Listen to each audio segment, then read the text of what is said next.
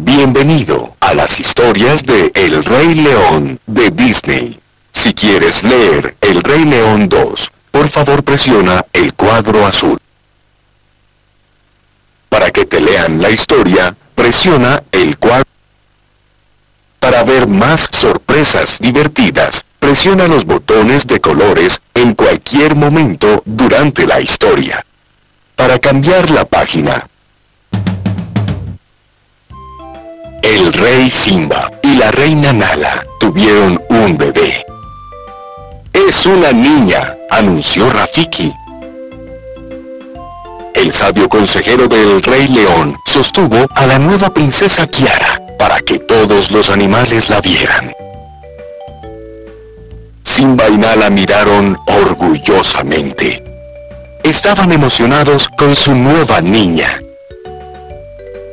También lo estaban sus buenos amigos Timón, Pumba y Sasú. Todos los animales de las tierras del reino se inclinaron ante la familia real.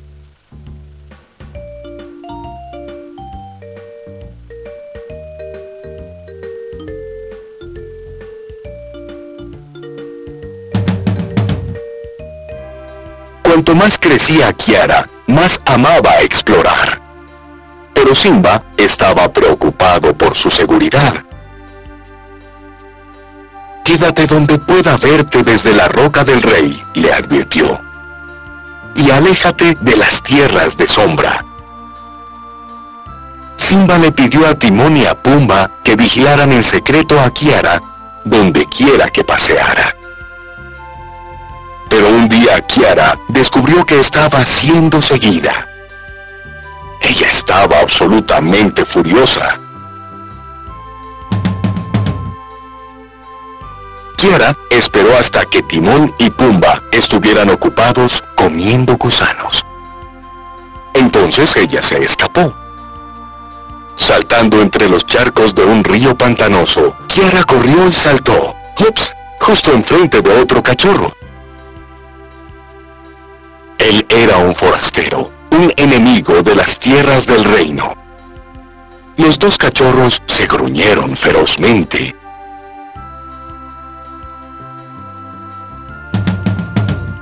Pausa.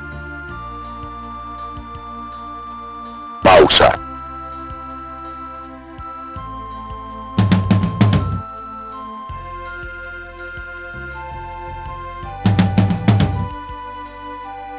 Kiara waited until Timon and Pumbaa were busy eating grubs. Then she sneaked off alone. Bounding along the banks of a swampy river, Kiara ran, wham, right into another cub.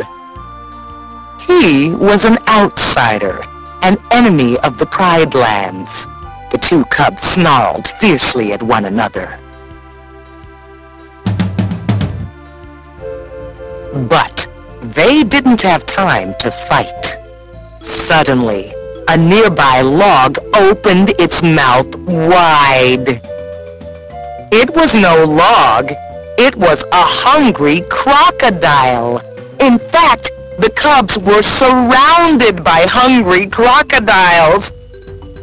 Ah! screamed Kovu, the outsider cub. Run! shouted Kiara. This way! Kiara managed to escape, but Kovu was trapped. Then, just as one of the crocodiles was about to snap Kovu in its jaws, Kiara leaped on the crocodile's head, slamming its mouth shut. The two cubs ran up a tree to safety. They looked at each other in amazement. I did it, Kiara exclaimed, as she realized she could take care of herself.